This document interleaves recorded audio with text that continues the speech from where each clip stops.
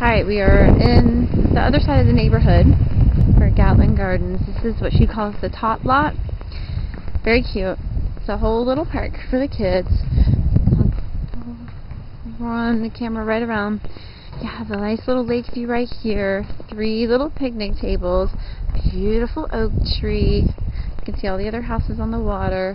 And then look, look at the cool playground equipment. Here's a slide, merry-go-round. And then I guess apparently the kids climb over the fence right here because the Conway Little League ball field is right there. Oh look, there's the holes in the fence where they go right through to the Little League ball field. I see. She was trying to tell me how they go in. So they go in through the holes in the fence right there. The ball field's actually right there. And then you have your tot lot and back over here to the car.